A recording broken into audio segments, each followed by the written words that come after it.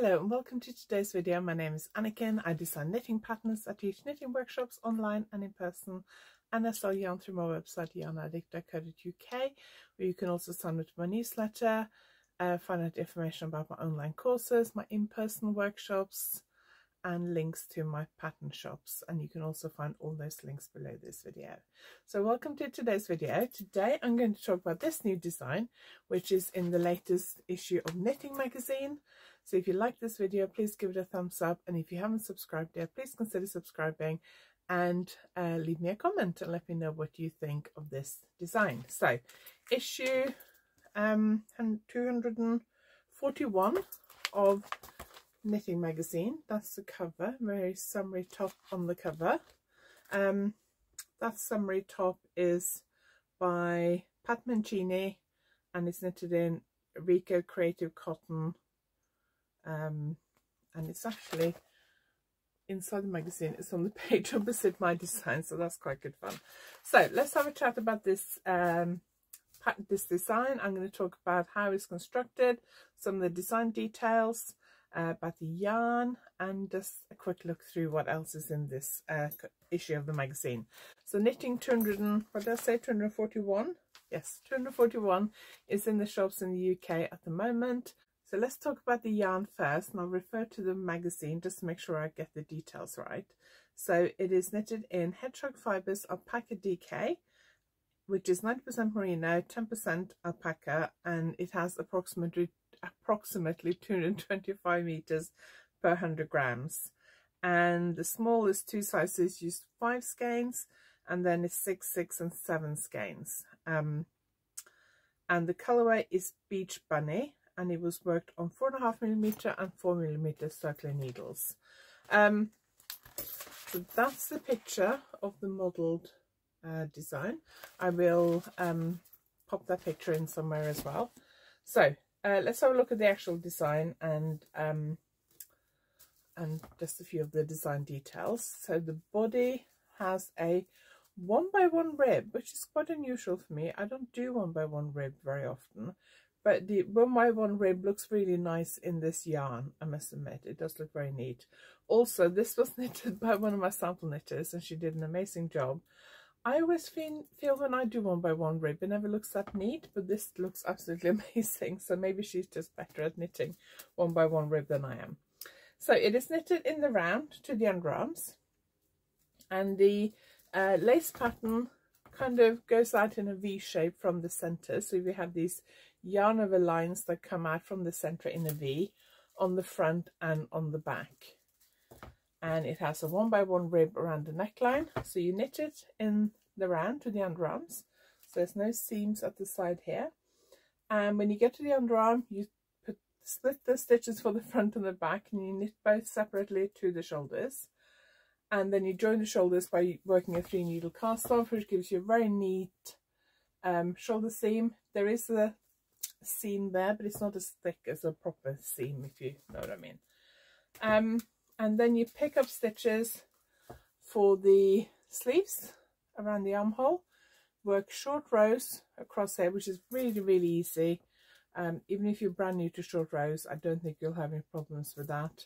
And then you knit the sleeves in the round from here down um, and finish off with a one by one rib that means if you want the sleeves longer or shorter than it is you can just keep going for longer or um, stop quicker so I can see on the, um, I keep catching this on, on my screen. There's like a, on the screen it looks like a brown thing there. I was like, have I got something on it? But that, if you're wondering, is part of the yarn. So this is quite a variegated yarn and there are um, some paler colours and some brighter colours and it does have this kind of flashing of some of the colours occasionally. So I didn't actually knit this one, my sample knitters did, and I assume that she just knitted it in the round, one skein, then the next skein, then the next skein. Um, a lot of people recommend when you knit with variegated, especially hand-dyed yarn, that you actually alternate the skeins. So you would do one round in one skein, one round in the other. If you're knitting rows, you would do two rows in one skein, two rows in the other. I didn't ask my sample knitters, my sample knitter to, to alternate the skeins, and I don't think she's done that. problem is sometimes you can when you go from knitting in the round to at the top here where it's back and forth. So up to the underarms, you basically have the whole width of the front and back. So you have a lot of stitches on the needles.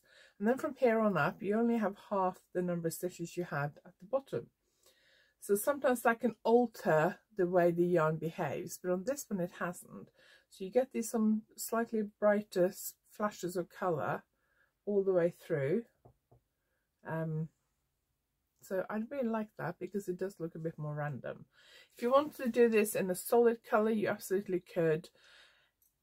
I think sometimes it's difficult to find designs that work well with variegated yarns. You have to be careful that the um, yarn doesn't take away from the lace pattern or the stitch pattern. So if you have a quite a busy all over stitch pattern, sometimes working with a variegated yarn can be quite difficult because it just hides the stitch pattern. So I've seen people who've done amazing lace patterns, but they've done in a variegated yarn and you just can't see it. Um, it just really hides the lace pattern. Whereas I think this lace pattern is simple enough and bold enough that it works okay with this. It works well with this variegated yarn. Of course, if you wanted to do it in a solid colour, you absolutely can. You can do it in a self-striping colour or you can make stripes. There are a lot of different options with this um, design. You can also do the body in one colour and the sleeves in a different colour if you wanted to. Um, I did say about making the sleeves longer. I didn't say about making the body longer. If you wanted the body longer, you would need to knit longer um, before you split for the sleeves. There's no shaping in the body, so it's just straight up. Um, but this comes at the underarm, so you wanted it longer, you'd need to knit the body longer uh, before you get to the underarm. So the lace pattern is fairly simple. It's just knit two together yarn yarnovers on that side, SSK yarn yarnovers on that side. That's all there is. So very, very simple. Um, and I kept the sleeves plain in stocking stitch so that when you do the short row shaping and things, you haven't got to worry about the lace pattern or anything. Um, that's why I kept the sleeves fairly plain.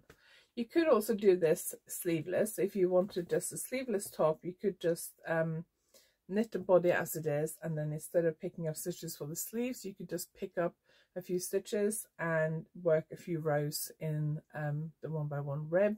You just need to make sure the number of stitches you pick up can be divided by two and then you can do the one by one rib for a few rounds just to get a neat edging um, or you could also do them short sleeves. So if you wanted just like cap sleeves, for example, you could do the short row shaping and then when you join to work in the round here, you could then just do a few rounds of one by one rib um, to finish it off. So there's lots of options, I think, with this design. The yarn is absolutely gorgeous. So I didn't actually knit with this. Um, it, we must have done this last summer, I think. I think the yarn arrived when I was away, but I can't remember where I was um, because I think I have a feeling we sent it, we got the yarn sent directly to my sample knitter and that she knitted the swatches and that I didn't even swatch with it because I don't remember knitting with this yarn. Um, but it feels absolutely gorgeous and it is has such beautiful even stitch definitions. If you look at the sleeves, let me grab that sleeve which is closer. I don't know how easy it is to see it. Let's see if I can bring this a bit closer. When you look at the sleeves, you can see the stitch definition is so beautiful and even. And um, that's just a sign that it's a really nice, bouncy, beautiful yarn. So I really like this and I would love to use this yarn again in designs in the future. Uh, sometimes alpaca yarns can be a little bit too fussy for my liking, but this one, it has a little bit of fuss. So you can just see that it's alpaca, but it's not so much fuss that it would be annoying. Um, I find some yarns, alpaca yarns, that have a lot of fussiness in them. I do I don't always like that as much, but this has just a tiny bit that you can just feel it has alpaca in it, incredibly soft, so you can feel there is that alpaca silkiness and softness to it without it being overwhelming the pure alpaca yarns, depending on how they're spun, but sometimes I find they can be a little bit uneven, so you wouldn't get the beautiful even stitch definition you get here. Sometimes you get slight and more, a little bit more unevenness. Um, but with the merino, which is nice and plump, and then the alpaca for extra softness and silkiness, um, and a little bit of fuss, a little bit of kind of halo uh, makes this um, absolutely perfect. So I really like this yarn. So that is what the magazine looks like. Really like they've just styled it with a pair of white trousers, very simple. Um, let's have a look at what else is in this issue. So that's the cover design. Uh, let's start from the back, shall we, in this issue. So there's the normal Pearl About Town column at the back. And then um, Knitting Magazines put, puts all the patterns in the back. So the back section that I'm just flicking through quickly now has all the patterns. So instead of the patterns being mixed in with all the photos and features and stuff, you get to here and then all the patterns are together at the back. And then there is Jo Allport's 80 set of knitting techniques. We've got to R, which is R is for reading your knitting. Um, and she's talking about uh, casting on and off. This is part four, so I'm assuming the reading and knitting is a four-part series. I can't remember now what was in the last issue. And then there's a letter section. And the thing that caught my eye here was a picture of Michelle Obama. Uh, it's Michelle Obama, um, uh, latest book, The Light We Carry. I'm assuming that's her second book. I did read the book that she um, wrote just after um, they finished being, or her husband finished being president. Um, so I assume this is a new carry, which I haven't read. But I might see if I can get that on my um, Audible app uh, because I do like um, listening to audiobooks when I walk the dog. Uh, Michelle Obama is also a knitter. Um, she's done bit on social media lately and a few interviews, I think, so she's talked about being a knitter because I've seen a lot of that being shared on social media recently. Then there's the Sarah, um, Ask Sarah column with Sarah Hazell. And then these, oh, these are cute. So there's um, uh, llama, very cute llama. And then there's a little elephant mobile. Can you see that? They're very cute. I'm not very good at making things like that. Um, not very good at like novelty things and toys and things. And then we have, I think those two designs on this page are, these two are from uh, Drops Design and this one is from Pat Mancini. So sweater, a cow and a waistcoat for men. Um, some home items very bright, cheerful and colourful. And then this feature they do in every issue where they take three of the patterns from that issue and show it in different colours. So that's my sweater. They show it in three different colours and then they show some other things that you can wear with it. So this sweater is a little bit shorter, so it'd be per perfect to wear with um, high-waisted trousers, high-waisted long skirts or dresses. Um, I was actually just before I filmed this, I had to pop out and drop off a parcel. And I was actually thinking, because I knew I was coming home to film this, I was actually thinking, um, I quite fancy knitting myself this sweater because I want to knit some sweaters this year. And I was thinking, maybe I should knit this one. Um, another cardigan and some other garments here. Um, and oh, that's a beautiful shawl down here. That is by Brian Smith lovely headband by Christine Boggis and a really colourful uh, fun cardigan by Board Knitless. That's knitted in Rowan Big Wool. And a wrap there, rainbow wrap by Rico Design. And a couple of more sweaters by Jo Allport and Pat Mancini. And there's my sweater and a top by Pat Mancini. Oh, Pat Mancini's got three things in this issue. And then that's bright flower top. And then there is a yarn page where they um, review different yarns. So they're looking at Sheepjes, Sheepjes, Truly Scrumptious, Stylecraft, Merry-Go-Round XL, Macintosh, Donegal, Rich Tweed and 4-ply. This is the DK version of the Macintosh Donegal Tweed, which I used in um, design two issues ago, I think, in Knitting Magazine. And then they're looking at a couple of Rico yarns, King Cole yarns, Stylecraft, and the Fibre Company. Um, those are all the yarns they're looking at in this issue. And this is just a subscription page, as a design that was in a few issues ago, I think. And then there's a book review page. Just looking to see if there's any books there I fancy taking a closer look at. And then there's an interview with um, the Yarny, Yarny Octopus.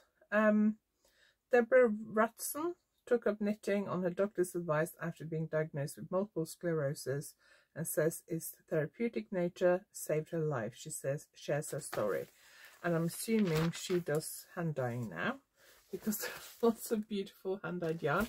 I must admit I hadn't heard of the Yarny Octopus, so I will be checking out her website and her social media. Um, I should share my knitting story because I um, don't know whether I've shared it on this YouTube channel or at least not for a long time. Um, I was in a very dark place when I got back into knitting. And then there's uh, colour therapy, just some things about 10 nitty ways to brighten up dark days. Um, and then there is a the knitting detective. In the golden age of crime fiction he was the ultimate knitting sleuth. Bronagh Miskelly gets out a microscope and investigates. So that looks quite interesting. Um, and then there is uh, oh a cache of crafty curiosity. So Christine Boggis who's the editor of Knitting Magazine is looking into some of the delights of the Knitting and Crochet Guild's collection. So there's looks some quite interesting stuff here, especially if you're into knitting history. Some beautiful designs are featured here, um, or pictures of knitting rather than designs. And then there's a what's on, um, we've got Unravel coming up. That's this week? Yes, it's this week. So when this video is out, it'll have already happened. And then in March, we got the Yorkshire Yarn Fest, Buxton Wool Gathering, Fibre Quest. Oh, that's in Somerset. Summer, Somerset, Somerset. That's not too far from me. East Anglia Yarn Festival, Far Woolly West, which is in Cornwall. Um, Stitch Festival, doesn't say where that is. Rowan Connect, doesn't say where that is either and soil to soil a regenerative approach to designing knitwear. So that's some interesting things I'll be taking a closer look at. Um, and there's some new knitting products um, I like these kind of news pages. They have a little bit of a oops that thing here about Wonderwool which is coming up in April and I will be there um, it's a little thing about uh, Michelle Gregory, who's the founder of the Knit School. I did an online class course for her a couple of years ago, I think. And she's also going to be using one of my patterns, my Cadson pattern, in a recent, in a upcoming uh, Knit School um, knit along, I guess it is. Uh, so um, do check out um, the Knit School by Michelle Gregory. She used to run the um, Loveliest Yarn Company and Banshee Yarns, and I think she is stopping those at the moment to focus on Knit School. And then there's just some yarn company news and things like that. Um, so lots of interesting stuff in this issue. Looking forward to having a closer look at it. It only arrived this morning. I've been wanting to film this video this week. This sample arrived back last week, I think but I wanted to try and wait till the magazine came before I filmed this video. But I really want to get it done this week so I'm glad the magazine arrived this morning. So I had a quick look at it while I was having lunch uh, but I haven't read it properly yet. Anyway I hope you enjoyed this video. If you liked it please give it a thumbs up. And if you haven't subscribed yet please consider subscribing and leave me a comment to let me know what you think. Um, and I will see you next time. Thank you for watching